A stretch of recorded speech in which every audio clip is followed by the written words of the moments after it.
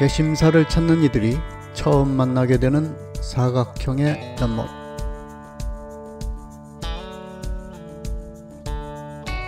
이 연못은 부처님을 상징하는 상황산의 코끼리가 목욕하도록 만들어졌다고 하며 연못을 가로지르는 외나무 다리는 마음을 열고 아미타불이 계신 극락으로 가는 하나의 길을 상징합니다.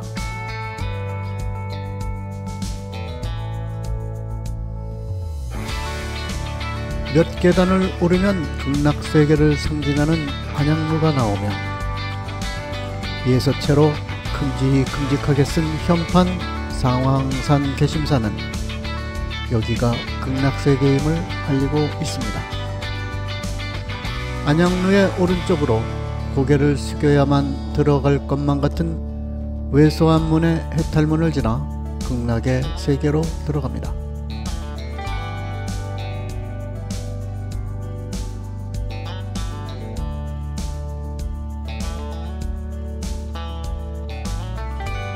개심사의 큰 법당이 대웅보전임에도 불구하고 아미타불과 관세음보살, 지장보살이 협시하고 있습니다.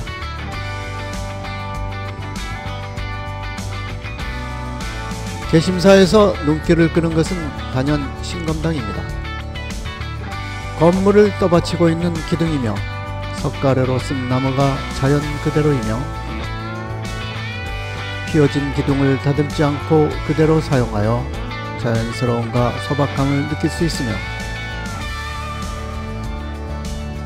종로의 비틀어진 기둥의 모습도 아름답습니다.